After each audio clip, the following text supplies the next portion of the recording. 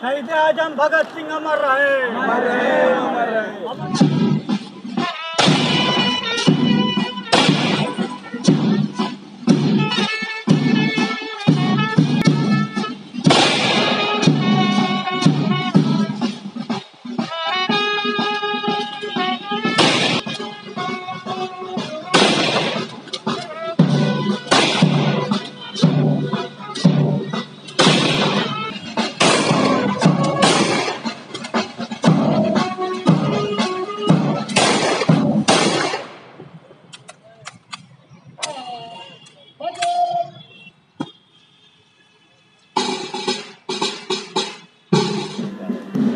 भगत सिंह इस देश के लिए जो भी कुर्बानी किया है, उसको देश कभी भी भुला नहीं पाएगा।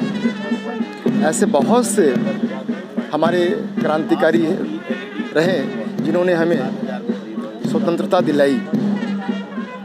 लेकिन भगत सिंह की जो कुर्बानी है, उसकी कोई बराबरी नहीं है।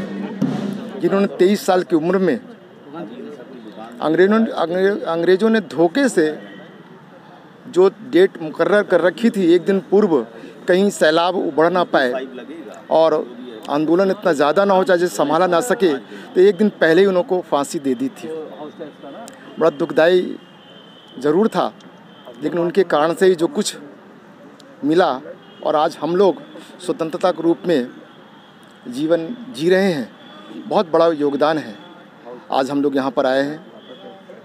उनके शहादत दिवस पर हम लोगों ने ये कार्यक्रम किया तो मैं अपनी ओर से यहाँ उपस्थित सभी लोगों को बहुत बहुत बधाई देता हूँ और ऐसे बलिदान महान पुरुष पर अपनी सच्ची श्रद्धांजलि अर्पित करता हूँ। धन्यवाद।